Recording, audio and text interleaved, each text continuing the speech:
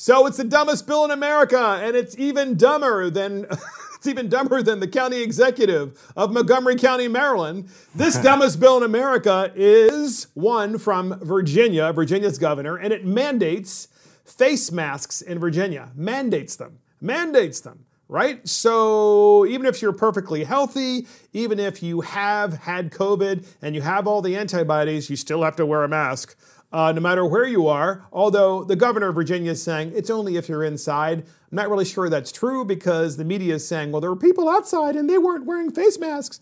Uh, so Governor Ralph Northam put in this mandate that you must wear face masks in Virginia. And meanwhile, he goes to Virginia Beach. The governor does. He visits Virginia Beach. That is the primary resort on the ocean in Virginia, for those of you that aren't familiar with the East Coast and uh, he doesn't wear a face mask and he doesn't social distance. Like a bunch of people came up to him and said, "Can we have a picture with you?" Rules Now- for me, but not or rules for thee, but not for me. Yeah, so they say, "Can we have a picture with you?" What he should have said was, "Okay, if he had a face mask." Six feet apart, people. But you're supposed to still be six feet apart. Yeah. But he didn't have a face mask, and he takes a selfie with him.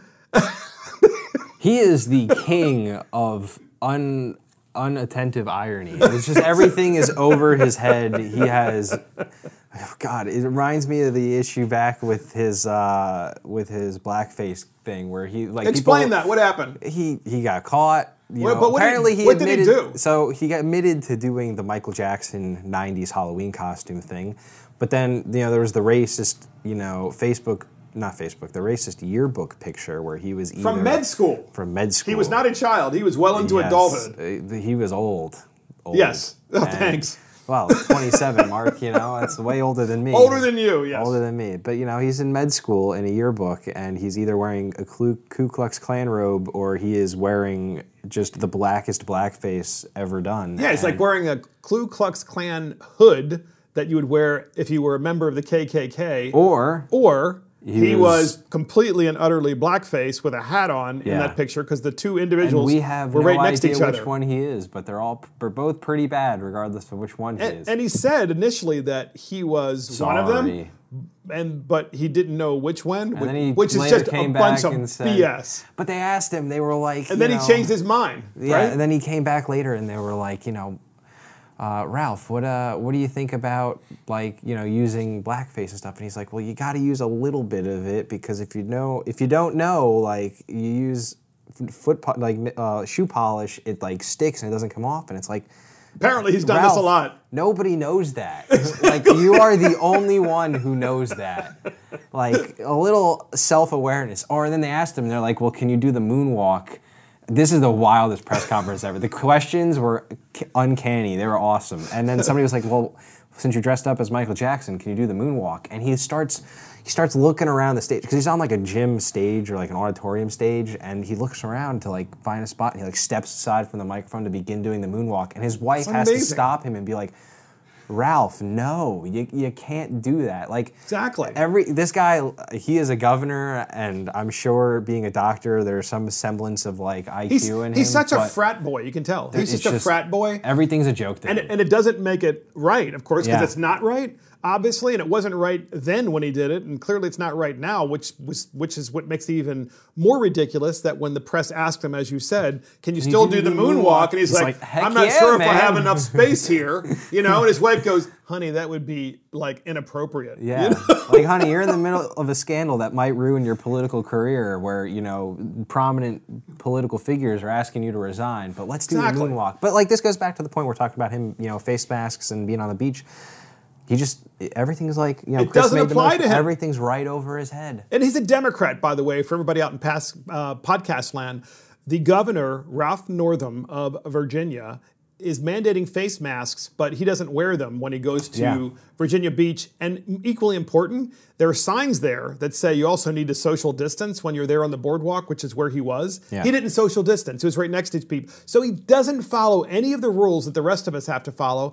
And of course, so we I think we we have a clip on that. Did we play that clip already with the media? No, okay, so let's play that clip first. top. So there was just a lot of backlash when Governor Northam visited the beach on Saturday and was seen not wearing a face mask or standing six feet apart from others. Photos of the governor, again, not wearing a face covering, went viral over social media, and many people expressed concerns of Northam not practicing guidelines he actually imposed. You can see him standing close to people, taking pictures with them. One viewer stated on our Facebook page, quote, I thought it was a great move for Governor Northam to go to Virginia Beach yesterday, but for him not to wear a mask on the boardwalk was a huge mistake. That was an opportunity for him to model the expected behavior, and he blew it. I'm very surprised and disappointed. Again, that is what one viewer said on our Facebook page. Governor Northam's office responded to the viral photos on yesterday, and according to the governor's officials, Northam still encourages wearing face coverings when social distancing is not possible. In a statement, Governor Northam's office says, quote, this is an important reminder to always have face coverings in case situations change. So he would be an expert, the governor would be on face coverings, because we have a clip from not that long ago when they were talking about some other face coverings that he was wearing. Uh, and here is the clip. The all consuming firestorm swirling around Virginia Governor Ralph Northam. The governor overwhelmed tonight by calls to resign, the list growing over a racist photo from his medical school yearbook. His own explanations adding to the chaos. The image shows one man in blackface, the other dressed as a member of the Ku Klux Klan. Governor Northam first admitting he is one of the men pictured, then denying he's in the photo. Tonight, the governor is now asking his own cabinet for more time to decide his next move. Yeah, he needs, and his next move was, it wasn't really me, right? Even though it has my name under it, it wasn't really me dressed in the KKK outfit. So my theory is, with the mandating face masks in Virginia, the governor of Virginia didn't want to wear a face mask when he went to Virginia Beach, and he didn't want to because because he couldn't wear the mask that he used to wear when he was in med school.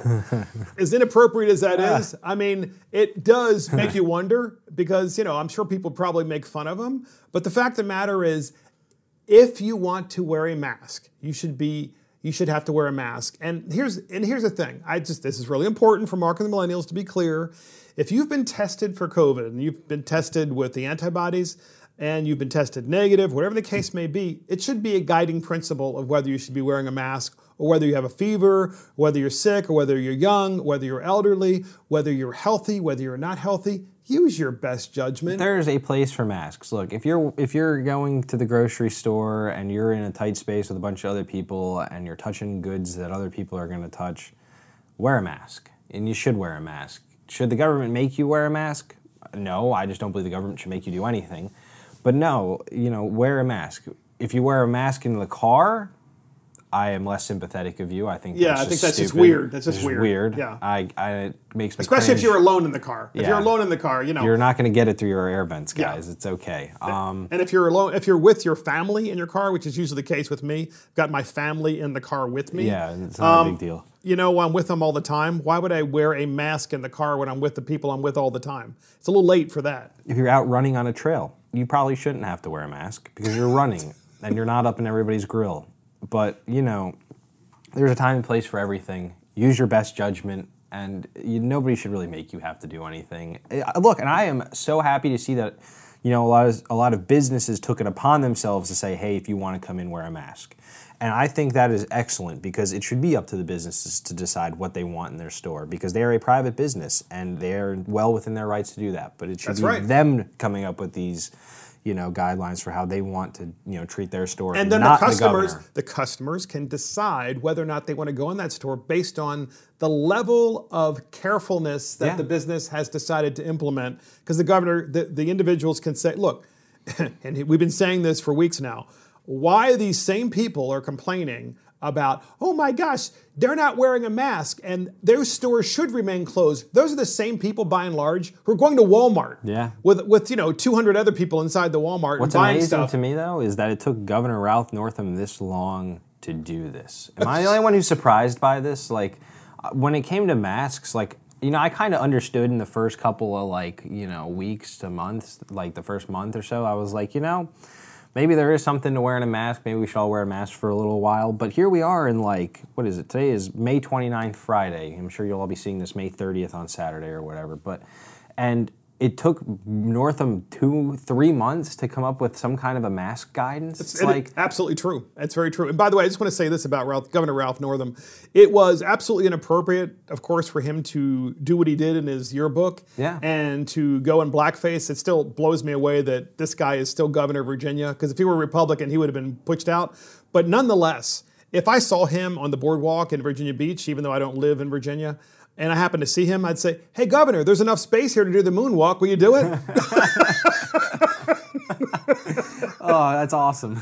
and that's it for the dumbest bill in America, mandating face masks in Virginia. Thank you for joining Mark of the Millennials. This is Mark Fisher. Thank you to our millennial Garrick Ross, and oh, of course our producer Adam Coutura and our assistant producer Christopher Hopkins. Check us out on iTunes, Spotify, YouTube, Facebook, Twitter, and our website. See you next time.